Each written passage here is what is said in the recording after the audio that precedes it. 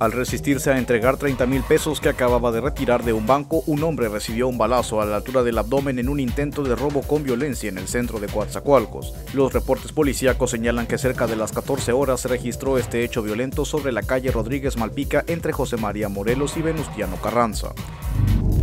Autoridades ministeriales investigan el asesinato de Tania María P., apodada La Cuata, hecho ocurrido a un costado de la carretera transísmica. El hecho de violencia se registró el pasado domingo en el barrio Belém a la altura del kilómetro 72. Información recabada señala que sicarios ingresaron al establecimiento denominado La Niña y dispararon en repetidas ocasiones contra la mujer de 36 años. La joven Dalia solo le prestó 10 pesos a un vecino. Eutiquio Duarte Ramírez malinterpretó la acción y cegado por los celos, gritando que de él nadie se iba a burlar, le disparó a su esposa en tres ocasiones para quitarle la vida.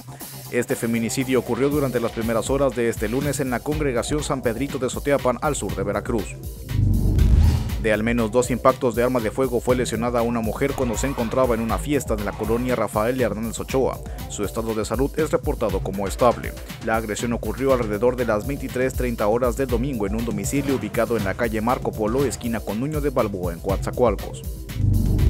Severo N. fue detenido por policías ministeriales como probable responsable del asesinato del agricultor Gilberto C., ocurrido el pasado 10 de septiembre en la localidad Corral Nuevo del municipio de Acayuca. El joven de 28 años, originario de Tatahuicapan y de oficio albañil, fue capturado este lunes en cumplimiento de una orden de aprehensión. Tres secuestradores fueron sentenciados a 50 años de prisión tras ser señalados de participar en la privación de la libertad de una mujer en 2019, mediante la contundente presentación de pruebas aportadas por la unidad especializada en combate al secuestro a través de sus fiscales de investigación fueron sentenciados los tres secuestradores. Desconocidos golpearon y abandonaron a una mujer a orilla de la carretera costera del Golfo para posteriormente llevarse a punta de pistola a un taxi de Acayucan con todo y chofer a bordo. El hecho de violencia se registró a las 23 horas del pasado domingo a la altura de la localidad San Miguel cerca de la zona peatonal.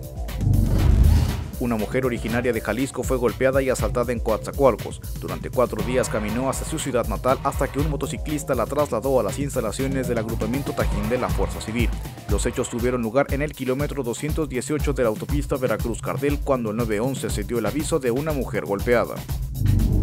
Las intensas lluvias matutinas que azotaron la conurbación Veracruz-Boca del Río por el paso del Frente Frío 10 dejaron entre otras afectaciones que un autobús de pasajeros cayera a un enorme socavón en la colonia El Fénix.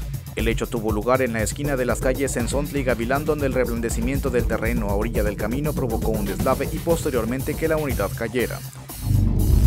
Bastaron algunos minutos para que delincuentes consumaran el robo del automóvil que un comerciante de Juan Rodríguez Clara estacionó afuera de una abarrotera en la Plaza La Florida. Información recabada refiere que el ciudadano acudió a la tienda Soriana para realizar algunas compras. Ampones aprovecharon la falta de vigilancia en dicha plaza y se robaron un automóvil Nissan Suru. Imagen del Golfo.